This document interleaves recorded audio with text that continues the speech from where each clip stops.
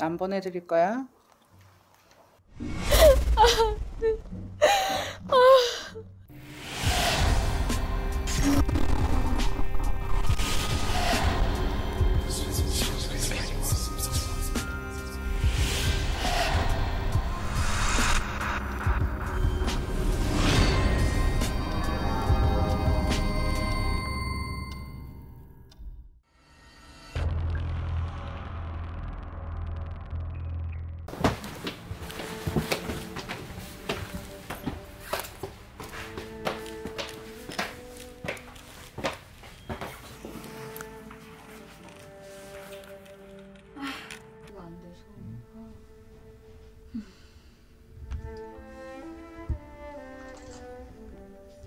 여기 온 지가 10월 20날 왔어요. 음, 여기서 막 옮긴 게 지금 네 번째인가 옮긴 것 같아요. 근데 귀신도 지나가는 게 보이고 안 눌리다가 또 가해 현상이 또 계속 눌리고 환청도 들리게 했어요.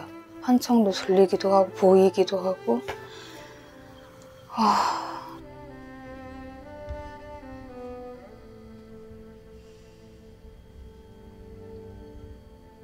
평상시에는 이게 뭐 저도 빙인 거는 같아요. 빙이고 그 신병 같은 거 그런 증상도 있는 것 같고 좀 여러 가지로 좀 많이 힘들더라고요 지금. 그래서 막 몸도 마음도 다 지쳐가지고 제가 살아온 게 지금 계속 이렇게 반복되다 보니까 다 이게 지쳐가지고 이게 좀, 아, 좀 마음이 좀 복잡해요. 예. 그 부모님이랑 그럼 언제 떨어지신 거예요? 몇 살 때? 음, 아빠는 제가 저 낳고, 낳기 전에 돌아가셨다고 한 것 같아요. 그리고 저 혼자 이제 큰 집에 맡겨놓고, 이제. 그럼 어, 어머님은 바로 낳으시고 재혼을 바로 하신 거예요? 아니면? 네, 저 다섯 살 때까지 아마 키우고 재혼하셨던 걸로 알고 있어요. 병원은 많이 다니셨던 거예요? 네, 우울증 그런 걸로 와가지고 공황장애 같은 것도 오고. 병원에서도 그다지 변명이 없는 그렇게 판단을 하시는 것 같더라고요 보니까. 결론적으로는 그거예요 뭐 신병이라고 그런 거 있잖아요. 뭐 그래서 약 먹고 좀 그런 것 같아요. 제가 봤을 때도 물론 우울증이라서도 약을 먹지만 예전에는 뭐 한창 돌리고 막 이러니까 막 그것 때문에도 힘들더라고요 생활, 생활하면서. 숨이 안 쉬어도 있으라고 했어 안경도 중요한데. 네. 지금 그렇죠. 네. 아니 어, 안녕하세요. 아, 깜짝 놀랐어요. 어. 어, 이렇게 생활하시는구나.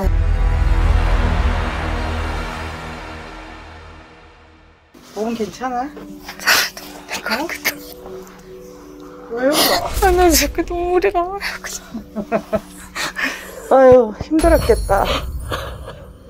응?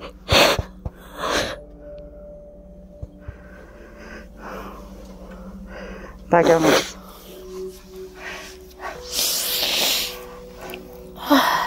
어떻게 살아야 될지 모르겠어? 어?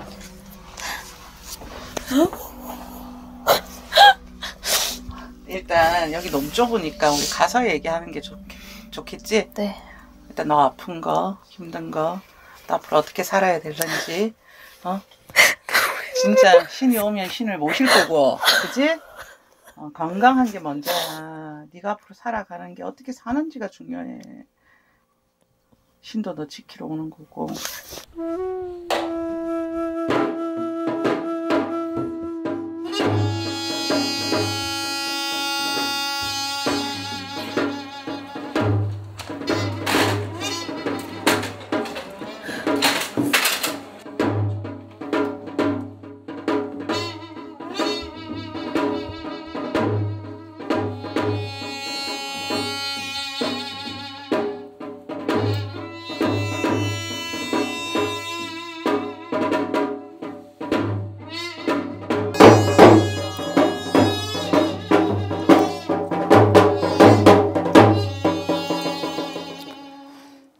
오늘날에 해오는가 이민년이여 달의 월색은 10월 상달이라 일진을 잡아 다 우리 임술생이 나는 이시 공주방서 무슨 소설로 얼굴 좀 보자 어? 무슨 소설로 이정성에 어, 이- 이 신청을 했을까 어? 신인지 궁금하나 사주팔자에 어, 너의 이시가정 대대손손 빌어난 듯 이 공줄로 명이어 가라. 부모가 닦은 공로가 없고 할머니가 닦은 공로가 없으니 너는 여기 칼날 같은 세월에 혼자 이 칼바람을 맞으면서 살아라 그랬다. 점이라는 걸 쳐보고 누가 나를 도와주고 누구의 덕으로 살아야 되는지 한번 알아보라. 너 사주육신 그래도 멀쩡하게 주고 어. 부모를 꺾었지 너를 꺾지는 않았다. 니를 꺾은 거는 금전으로 꺾고 인간의 상처로 그 명땜 한다고 이날까지 와 있어도 니는 하늘도 원망스럽고 땅도 원망스럽겠지. 아픈 거는 조상의 가물이면 걷어줄 것이고 신의 바람이면 잠을 재울 건데 네가 이걸 신청한 이유는 신이면 신을 받으려고 신청한 거야? 아니.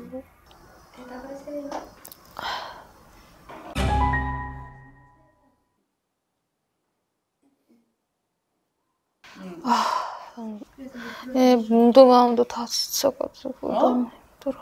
이 세상에 고력을 다 겪다 보니까 왜 여기까지 왔는지도 솔직히 모르겠다. 어. 그러니 조상이 눈에 보이는 것도 아니고 신이 보이는 것도 아니고 귀신이 보이는 것도 아니다. 허나 그 가물들이 자꾸 네 몸을 지배를 하니 네 정신도 빼앗기고 이렇게 한이야 원이야 하면서 살이 끼었다면 어떤 살이 끼어서 저렇게 넋을 빼고 앉아 있는지 하나하나 찾아보자. 윤시제자 신장님 원력으로 장군님의 술법으로 이가정 명당에 다 일체부정 거들어 갑시다.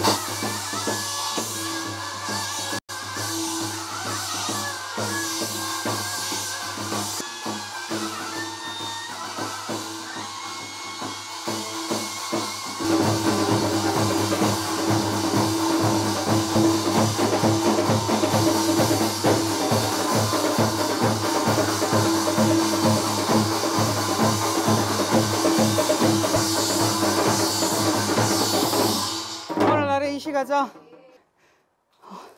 자살한 사람 누구? 저희 친언니. 친언니야? 18 진짜 인생 족같네. 어? 내가 가자. 살기 싫다며. 어? 가자. 니는 어떻게 좀 잘 살 줄 알았다. 응. 얼마나 울면 응. 이 속이 풀리고 나도 너무 힘들다. 어? 내가 얼마나 너 따라다니면서 맨날 죽는다 소리고 맨날 죽어볼까?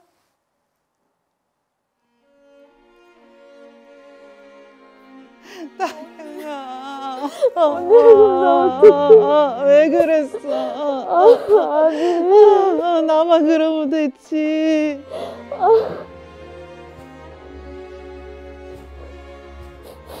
어떡해. 나 너무 힘들어. 언니 미안해. 언니 그렇게 아픈지도 몰랐고. 나 그냥 마음이 알면서도 내가 언니 하나 지키지 못했던 게. 아니야. 근데 내가 죽고 나니까 네가 내 아픈 것처럼 다 아프니까 괜찮으니까 너라도 이제 정신 똑바로 차리고 살아야 돼. 살 수 있지. 어? 언니한테 약속해줘. 약속해줘. 언니는 이렇게 갔어도 니한테 혹시 걸림돌 될까? 가고 싶어도 못 갔는데 오늘은 갈래. 어떡해.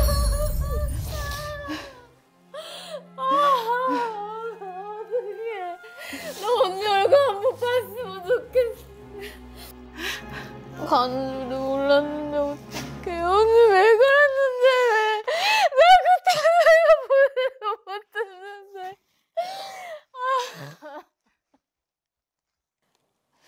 언니는 괜찮아. 너라도 살아 이제. 언니 이제는 아무렇지도 않아. 그런 생각하기 없기다. 알았지?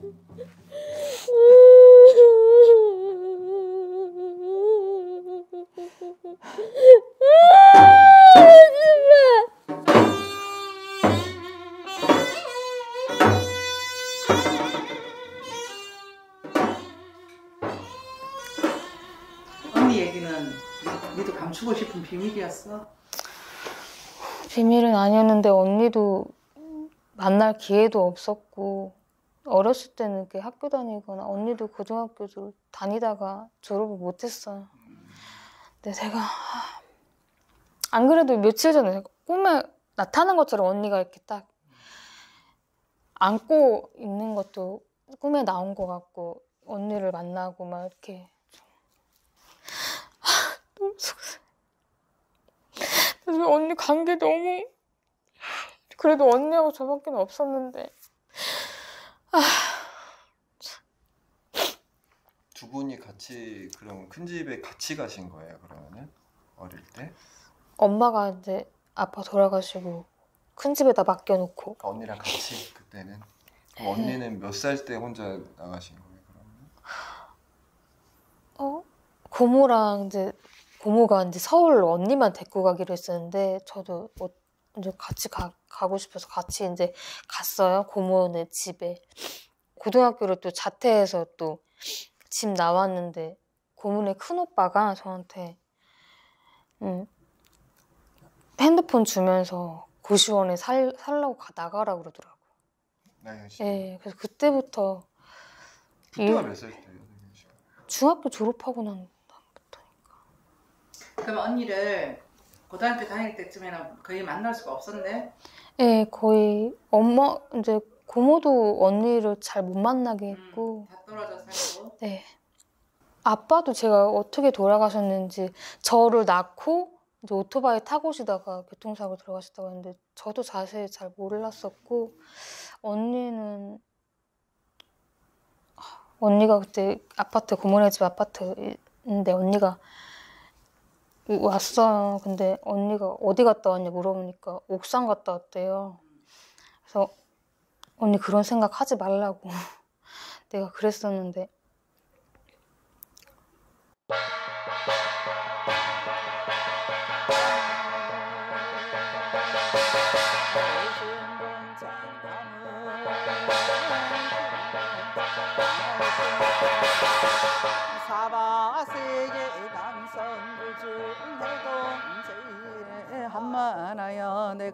내가 오고 엄마나여 내가 왔다. 우리 이쁜 동생. 죽을까 싶어서. 그러지 말라고 내가 일러주고 싶어서 왔어. 어. 어. 나는 정말 사람같이 살고 싶었는데 그게 안 됐어. 그러지 말라고 온 게 가시손이 되고 니도 힘들게 했다. 언니가 미안해 그러니 닦아줘. 이렇게 머리도 닦아주고 어 그렇지? 만져보고 음, 오늘 마지막이다. 이제 오면 안 돼. 어, 그래야 동생이 용기 가지고 세상에 좋은 일도 좋은 사람도 많은데 겪어보지. 그치? 이때까지 동생도 너무 힘들었잖아. 남들은 햇빛 보고 사는데 아빠도 보고 싶고. 그치 어, 언니도 가고 아빠도 가는데 어, 나는 알아준 사람 아무도 없어. 그치. 네. 그래서 우리 나, 나경이가 너무 힘들었다. 대신 선생님이 언니처럼 아빠처럼 해줄 테니까. 응, 알았지? 언니는 나경이한테 동생이라 끼지 말고 아픈 거 다 닦아 가자. 내가 지키지 못해서 응. 그치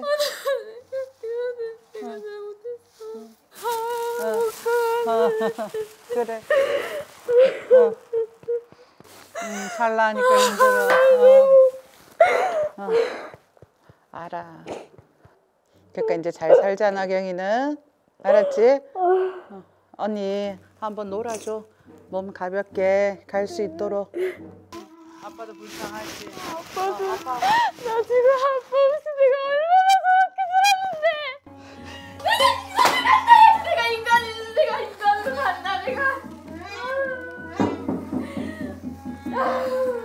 아빠하고. 응.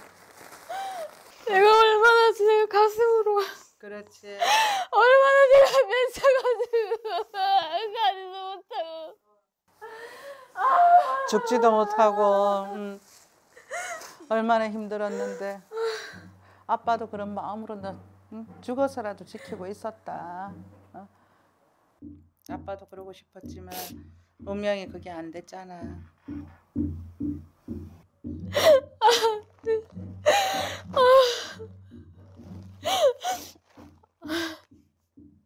안 보내드릴 거야? 오늘 들어도 응, 오늘 들을게 그치. 씩씩하게 살 거지. 네. 응.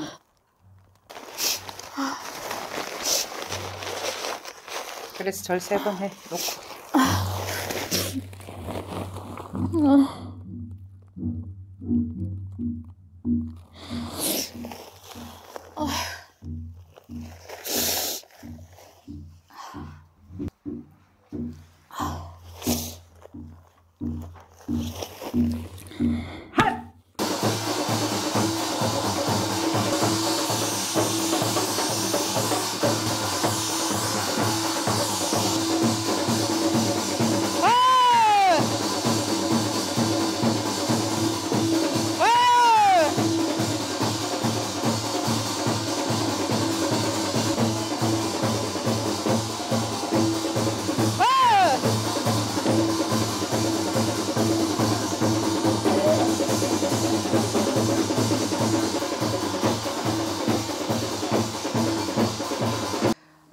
오늘은 빙의 사례자입니다. 살아온 환경부터가 이제 부모님과의 이별부터 이때부터 저 사례자는 10대부터는 아무 인생에 의미가 없었던 것 같아요. 그래서 마음의 상처도 지금 너무 크고 마음의 트라우마나 가족에 대한 사랑 그리움이 또 너무 큰 데다가 신가물이 조금씩 갖고 있다 보니 그 틈을 타고 또 조상이나 허주들이 너무 외로움 속에 같이 묻어들었던 것 같습니다. 빙의라 해도 귀신만 딱 있는 게 아니고 살이 너무 끼었어요. 상문살이 들고 사고살이 들고 급살이 와서 죽을 수도 있는 사자까지 같이 걸고 온 템이라서 굿이다 이런 것보다는 삶의 의- 의욕을 조금은 방향성을 바꿔야 될 것 같아요. 누구의 원망보다 이제는 자기 자신이 어떻게 살아야 되는지 목적을 조금 하고 조금 게으름보다는 아무리 상황이 어렵더라도 조금 노력을 하면서 뭐라도 하려고 하는 의지가 지금 가장 필요한 그런 상태인 것 같아요. 그래서 앞으로도 의논할 데가 없고 뭔가에 모든 걸 스스로 하다 보니까 조금 친구처럼 음, 언니처럼 조금은 손을 잡아줘야 일어서는데 좀 쉽지 않을까 싶네요.